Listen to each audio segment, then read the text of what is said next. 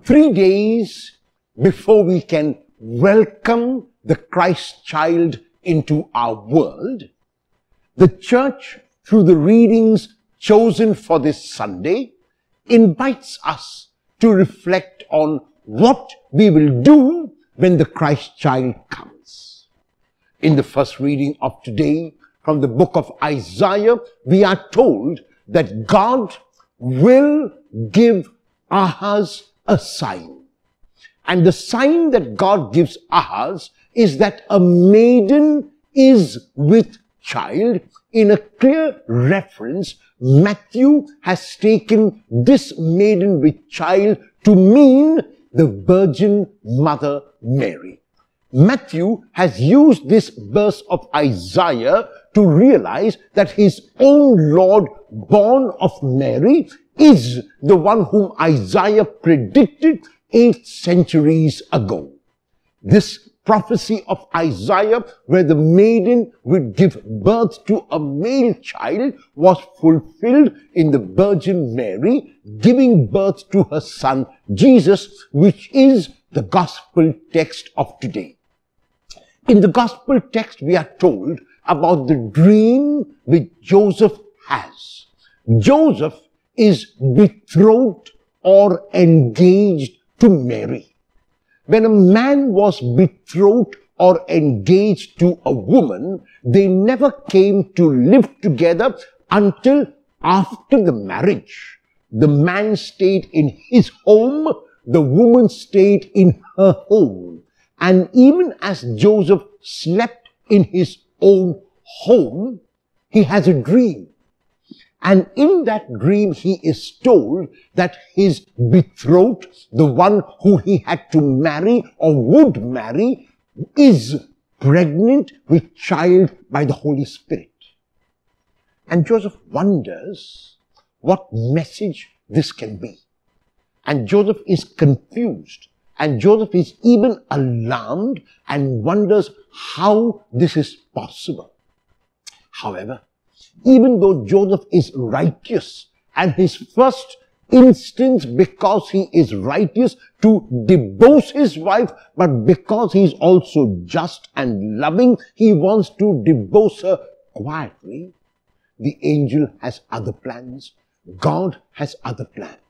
And Joseph, even though he is righteous, even though he is a man of the law, will not let the law come in the way of love, will not let the law come in the way of God's plans, which are much beyond the law. And so Joseph is able, because of the fact that he is a man who loves, to love God, and then take his betrothed who is pregnant to be his wife.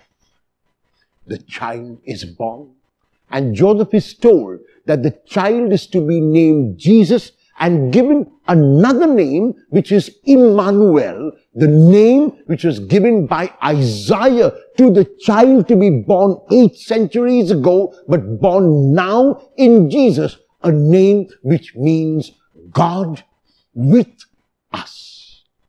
The choice of these two names, Jesus and an expansion in Emmanuel, God with us, is an indication that our God first is not a God up in the heavens. Our God in Jesus wanted to make himself like one of us in every single way.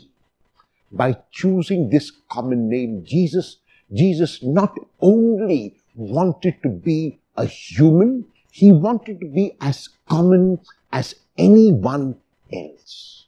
However, even as the name is chosen, and even as the expansion of that name is given, we are given an insight into the kind of God we are going to welcome this Christmas season. Our God in Jesus is not only Savior, which He is primarily, but our God in Jesus is also a God who is with us, who is for us, and who is in us. In other words, if God lives in me, as Paul says in the second reading of today in the introduction of the letter to the Romans that we are now called to proclaim that gospel. And the gospel which Paul proclaims to the Romans and which we are called to proclaim to those who have never heard about Christ is that we must continue to reveal this Jesus to the world.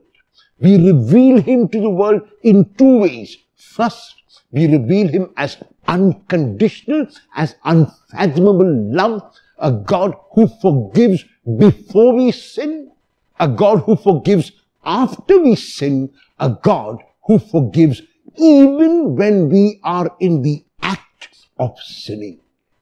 And second, a God who is not far away from us, a God who is not in the heavens, but a God who is in our hearts, who is in us.